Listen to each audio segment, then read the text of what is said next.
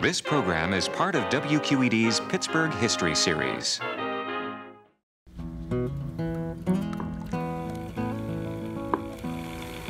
On August 28, 2018, I made a pie, an Atlantic Beach pie, that I shared with some friends here at WQED, the public television station where I work, and with Gabe Setra, my friend who's a mailman who loves pie. So I stayed at work late that night, and about 9:30, as I was coming out to my car, I was carrying a case of bubbly water. And as I came down these stairs, I missed the bottom step and I fell. It wasn't even dramatic, but I realized as I tried to get up, I couldn't move my left leg. It just wasn't working. So, as there was no one around at first, I called 911, and eventually an ambulance came and took me to Presby. Presby is what we Pittsburghers call the nearby hospital that's officially UPMC Presbyterian Hospital. There, I found out that I had ruptured my quadriceps tendon just above my left knee. And I was scheduled for surgery in the morning, and I'd have a long, slow recovery that eventually included my seven weeks in Magee. Magee is what we Pittsburghers call the nearby hospital that's officially UPMC Magee Women's Hospital. My stay there is what this program is mostly about. This program in the Nebby series is made possible in part by the Buhl Foundation, serving southwestern Pennsylvania since 1927. By Louis Anthony Jewelers, proud supporter of Pittsburgh and its treasures. By Huntington Bank, serving communities since 1866. By Levin Furniture, furnishing Pittsburgh homes since 1920. Also by the Engineers Society of Western Pennsylvania. By Henny Henninger. By the Lincoln Pharmacy in Millvale by Mancini's Bread, by Pamela's P&G Diners, and by all 1,411 backers of our Nebby Kickstarter. Thanks to everybody. So, I had surgery, and I somehow ended up in a bed at UPMC Montefiore Hospital, where I had time to start to contemplate some of the complications from my fall. My leg in a brace, no bending the knee or weight on my left leg for weeks. They wake you up early in the hospital. I turn on the TV, and that early morning traffic guy on WTAE. Ay, ay, ay. But I had a beautiful view looking north. And before the end of the first day, my friend and cameraman, Frank Caloiero, had brought me some of his homemade veal meatballs with peppers, basil, and tomato sauce on pasta. It made the hospital food look somewhat drab. On September 1st, a nurse said she was going to change my dressing. If you don't want to see my stapled incision, look away for a few seconds. One of the odd things, I really had no pain except for the first day after surgery. Now, Dr. Peter Siska was the ace orthopedic trauma surgeon who put me back together at Presby and helped me understand better the whole ruptured quadriceps tendon thing. This is a model of a right knee with the femur bone, which is the top part of the knee joint, and the tibia, the bottom part of the knee joint. And in between is the patella, which is the kneecap. So the quadriceps tendon is this part right here. And what that does is it connects the quadriceps muscle to effectively the tibia. And so, what do you, how do you fix it? Well, um, the first thing you do is you uh, define where the tear is, and then actually um, debride or uh, cut away the diseased portions of the tendon. And um, it kind of looks like, you know, like a shoelace that gets a little bit frayed at the end of it. It looks like that, and you take it back to tendon that is healthier looking. And then uh, scrape a little bony trough in the patella to get bleeding bone there. Uh, that can help uh, enhance the healing process. So you get the healthy tendon to the healthy bone, and you attach it um, by weaving heavy suture up the tendon and back down uh, a couple different times. You have the ends of the suture that you then pass through the kneecap through drill holes that we make in the kneecap. And you, you shuttle them through and bring them to the other side. Then you hold the legs straight. And then you tie the suture knots on the other end of the kneecap or the inferior pole of the patella uh, to then basically dock the quadriceps tendon into the patella and hold it there. A lot to learn. So, still in Montefiore on Saturday, September 1st, I posted an appreciative review of my big hospital breakfast on Facebook. One of Dr. Siska's men had said, eat lots of protein. So now all my friends knew about my accident and the impending recovery, and at lunchtime I was surprised by my buddy Zach Tanner and his wife Kate Palmer, who brought me a hot dog from the original and some O fries. I was starting to feel like a king. And then that evening, my good friend and coworker Matt Conrad and his girlfriend Jen Gleason came to visit, bringing with them fresh rolls, tom yum soup, and dumplings from Thai Cottage in Regent Square. All this food was a surprise, and continued to be so in the morning when a box of beautiful baked goods from La Gourmandine was delivered by my one time colleague Michelle Pagano Heck, quickly followed by Mike Munns with a pizza from Fiore's. My favorite sausage with anchovies. Not everybody brought food. That afternoon, Darren Tidrick, studying to be a nurse, stopped by. We had met a few times, but really knew each other because we play online Scrabble almost every day. It was good to just talk. Monday, September 3rd was Labor Day, and I'd already been told I'd have to move on, probably the next day, to a skilled nursing facility or nursing home. I couldn't fret because Mike Cuccaro arrived with his daughter Cora, a real cutie. Mike used to work on our WQED website. Then in mid afternoon, I was delighted to see Supani Kansuan Yeneral and her husband Kevin walk in the door. She is the chef and co owner of the tiny Thai restaurant called Mainam Thai that I love in Blawnox. She made me some exquisite small fresh rolls with pork and carrots and basil leaves that are called Guotio Louis Sawan. They're not on a regular menu, along with a special spicy Nam Jim sauce. I love these rolls and shared only with a few favorite nurses. That evening, my cameraman friend Frank came back with his twins, Sam and Sophia, and they brought more homemade Italian food. The next morning, I think because of my positive review of the hospital food on Facebook, I was invited to order lunch from the new Inside the Hospital Pizza Oven place. Good pizza, good salad, even a bottle of the bubbly water that helped get me here. But that afternoon, I was out of Montefiore, transported via ambulance and gurney to 3600 Magee, to the TCU or Transitional Care Unit. Dr. Siska had suggested it. The folks there overseeing it are, are very good. They're responsible. You know, they're in constant contact with the physicians uh, back up here. You know, if there's any issues or anything. So I know who's taking care of you there too. I think they do a wonderful job. This doesn't go to 3600 it only goes to 3599 3600 that way? I love the guys who transported me, but I feel bad now because I realized he was going the shortest route. But my comment made him take me the long way around. As I was being wheeled into the TCU, I was told, Your family's already here. Since I don't have any family in town, I was intrigued. Who was already in my room? It was Gabe Setra, my mailman friend who loves pie, with his wife Lee. They brought me a bag of baked goods from Kretchmar's Bakery in Beaver, PA, where they'd gone on a day trip. They set the tone for much that followed here at the TCU.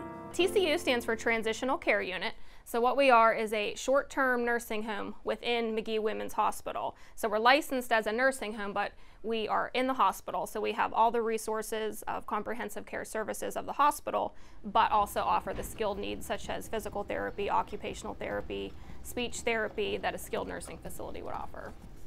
That's Erin Simyak. She's the director of nursing here, and she and administrator Holly Valella keep this place humming. They put me in room 3172. With my cell phone, I started taking pictures of lots of things, not because I anticipated making a TV program, but really just for social media. I hesitated to post anything about the crawfish boil that Wayne Minix brought from the 4th Street Barbecue in Charleroi because I didn't want other people to feel obligated to bring me anything. Not a bountiful basket of Pittsburgh from the WQED Employees Activity Committee, not surprised bakery treats from bakeries all around town. And then I was totally surprised by a present from Paula Frankenfield Fedornak, the HUC, Health Unit Coordinator, there at the TCU. She brought me an all about Pittsburgh board game from the early 1980s because she thought I'd use it somehow.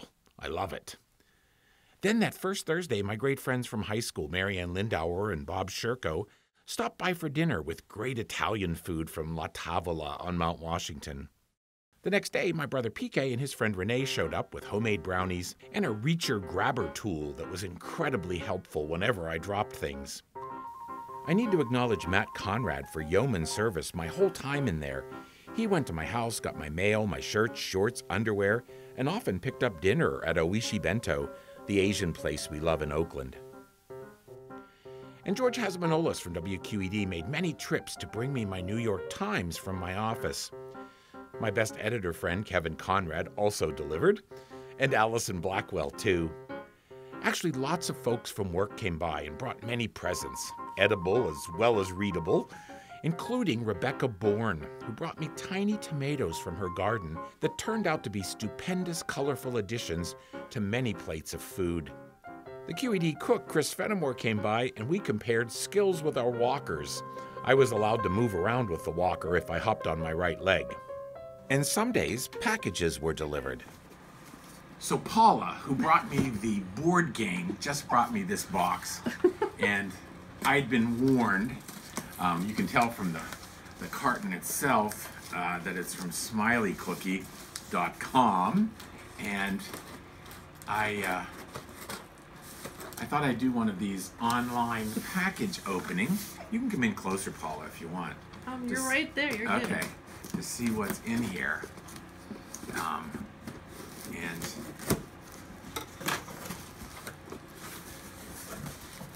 here we go. This is like one of those opening videos. We were so sorry to hear about your injury and wanted to send a sweet gift to say thanks for making us smile all the time. Get well soon from the Smiley Cookie Factory. Uh-oh. And oh my god, there's a lot of smiley cookies in here. Holy Christmas. You know. so these will uh, these will you- these will become bribes for nurses. That works. Of course, I did get a lot of professional attention and multiple sessions of physical and occupational therapy every day. And I tried to share the treats I got whenever I could. But I wasn't going anywhere, and cool kindnesses continued. Like Marcus B. Shepard, artist and illustrator who worked for a while at WQED, he surprised me with a beautiful Get Well poster he drew of Spider Man. I liked that Spidey's quadriceps in his left leg were so well defined, inspirational. And my cameraman Frank brought me a real bowl so I wouldn't have to eat his wife's homemade chicken soup out of a plastic container.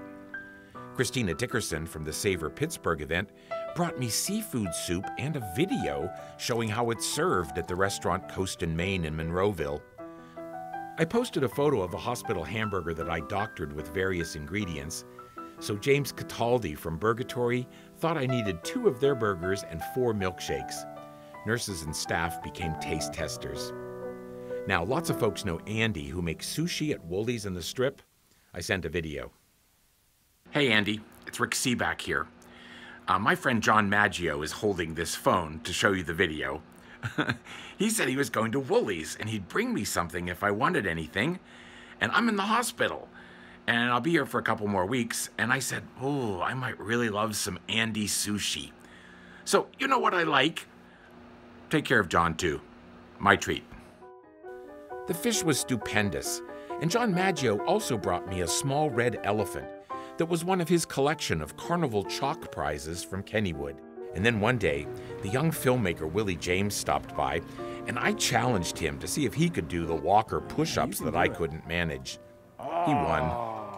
But not long after, my very fit actor friend Tom Kolos came by, and he, of course, could do those push ups all day long. My pal Margie Whitmer brought me some scandalous reading materials. My work buddies Sharon Steele and Lance Jones came with cool comics. And Patty and Cindy, the Gracie girls from New Kensington, stopped with sweets. Then Andy and Mary Winscoe from Pittsburgh Smokehouse supplied both savories and sweets.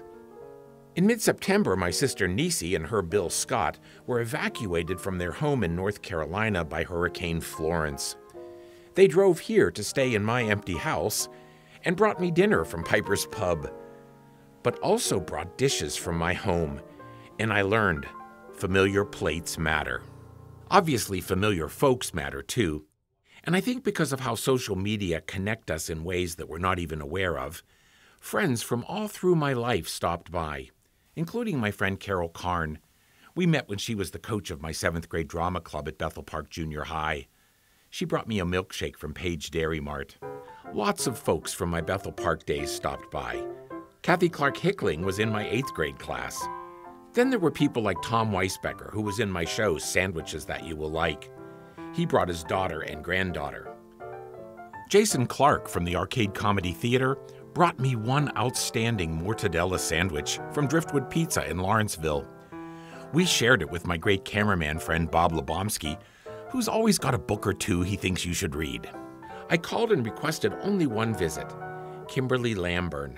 She's been cutting my hair for about 18 years, and she agreed to come and trim my head.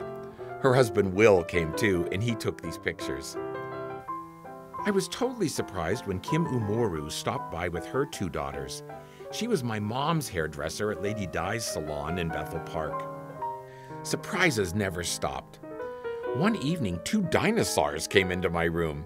It was a while before I realized they were my friends, OJ and Carrie Yuri. They brought dinner too, that we shared in the TCU activities room.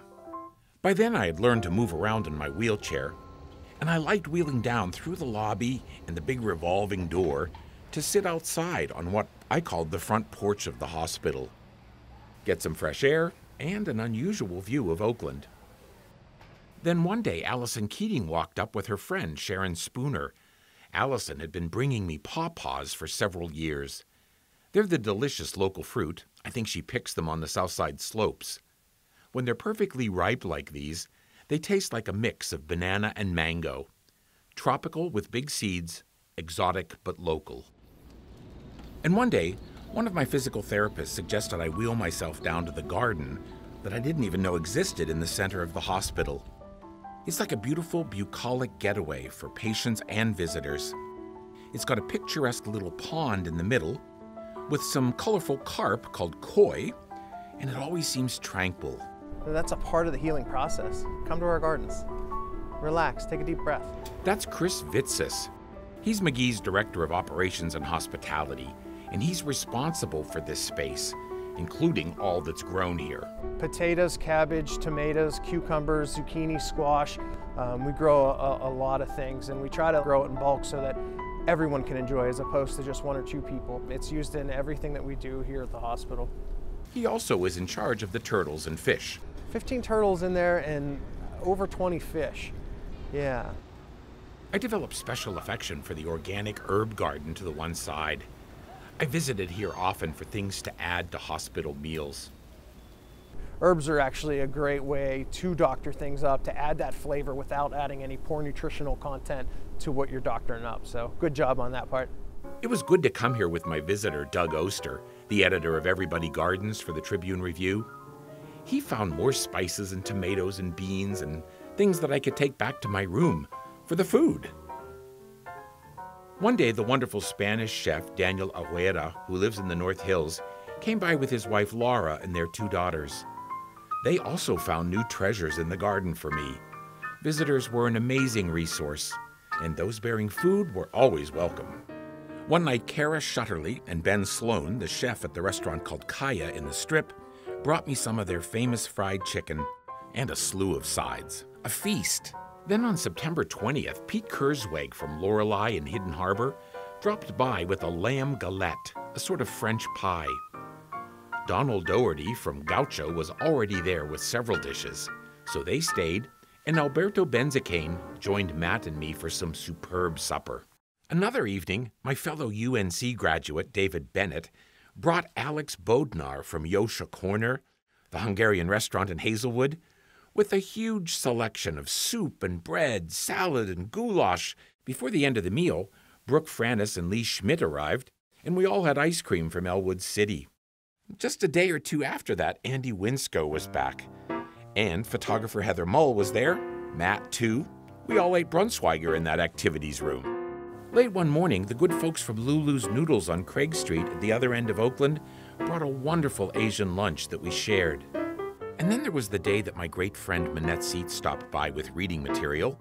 followed soon after by Chef Sonja Finn from Dinette in East Liberty, carrying three of her famous pizzas. We three set the table in the activities room. The food was delicious and beautiful. Even the box with an original cartoon by Haas was fun. Another evening, my buddies Jason, Michael, and Bess from the Pittsburgh Vintage Mixer brought a homey tablecloth, some groovy old napkins and plates, some tasty pies, and a salad from Badamo's Pizza. We chowed down. It was a party. And late one afternoon, Kayla Noguera Cook brought me some of her Brazilian specialties from her brand new restaurant called Casa Brasil in Highland Park. She knows I love Guaraná, the Brazilian soft drink, too. Muito obrigado. You might think I did nothing but greet and eat, but I did my PT and OT. And when Millie's Ice Cream sent a bunch of pints with toppings for Sundays, I shared them with the therapists, hoping to kill them with kindness. Once I had to go to Dr. Siska's office to get my staples removed. You doing okay? I'm doing good. How are you doing? I'm good. How often do you have to do this? Um, well, today I'm working with Becca, so it's her post-op clinic. So I've been doing this all day long today. Is this a lot of staples, 55? No. No, this is nothing. Other people have more? A lot more. It wasn't painful, sort of a relief, but I was still in the brace and still astounded by the generosity and kindness of people. Some I'd never met before. Some were old friends, some stopped by several times. I felt slightly guilty because I couldn't remember the last time I visited a friend in a hospital, and I don't think I ever took someone food in a hospital. I learned. In October, I got an unusual note on Facebook Messenger from a woman named Nikki who called herself Random Yinzer from Beechview. She and her husband Norman had decided to get remarried in Pennsylvania because something about their old out of state license was not recognized here. Could they come to Magee and would I be a witness? I asked the TCU folks if it was okay, and they said yes, of course. The other witness, Nikki's friend Ellen, brought the balloons. Then there was a text from my musician friend Reed Connolly from the Beagle Brothers. Do you think we'd be allowed to bring our instruments and play in your hospital room? Again, I got an okay. I invited some folks and we got an amazing concert in the activities room.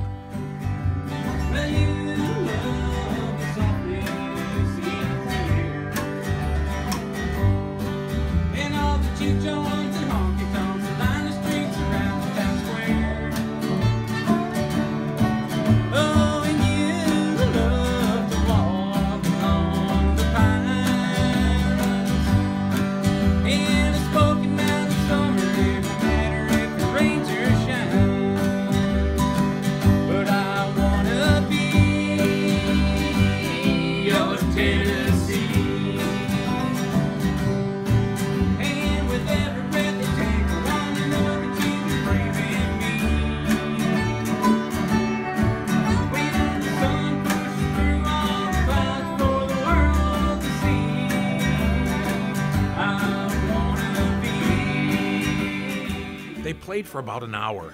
God bless the Beagle Brothers. But the amazing parade of surprises didn't stop at that point. It never faltered. Friends kept stopping by, more people from work. One of my Nebby programs, Meet Pittsburgh, won an Emmy in Philadelphia, and the statue was delivered. There were bountiful banana splits from Klavon's ice cream, a crazy pirate who caused a sensation, a nice pierogi dinner, and unexpected visits galore. David Newell, who played Mr. McFeely on Mr. Rogers' Neighborhood, stopped by, and everybody wanted a picture with him. Jean Marc Chatellier and his wife Sandy came by and brought Breton cakes from their bakery in Millvale. Jennifer Cohen from the Lincoln Pharmacy in Millvale came too and brought me a chocolate pie. There was one Saturday when Ernie Ricci, one of the stars of Meet Pittsburgh, came by with massive quantities of his famous Italian sausage, Lil's sausage rolls, stuffed banana peppers. At that same time, Richard Corsi from Yinzburgh Barbecue showed up with samples of his meats and southern sides. And we had a massive layout of food. Food, food, food. Remember that traffic guy from WTAE? My buddy Sam Hall? He tried to be funny. On October 24th, Nan Cohen from KDKA Radio and her husband Mel, along with Marlene Leschnuck Druskin from Dorothy's Candies in White Oak, arrived with shopping bags full of chocolates. Too much for one man. So the nurses made out, and I learned of scrumptious creations. It's a turkey leg. Go ahead, explain Tell me- tell us everything. what a turkey This here is, is our famous turkey leg that i- are two pretzel rods. They are dipped in caramel. They are then wrapped in cashew nuts and then double dipped in our famous Swiss chocolate. Oh. It sounds terrible. It is so bad for you that it is so good for you. You just want more and will more and more and more. Yes, you do. Yes, you do. It is awesome. So, seven weeks to the day from when I fell, I have a doctor's appointment with Dr. Siska again. And I think he's going to loosen the lock at my knee so that I can begin to bend my knee a little bit. And I'm thinking maybe he'll let me put some weight on the leg. He takes off the brace and says, Can you lift your leg? And I say, Sure. And because of all the PT, I can lift my leg.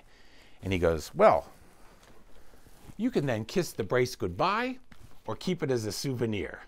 So here's my brace. He said, You can go full weight on both legs, or as tolerated the weight. And so I could stand up and I can start to walk. I celebrated with my main physical therapist, Danielle Rora, who immediately got me practicing with a cane.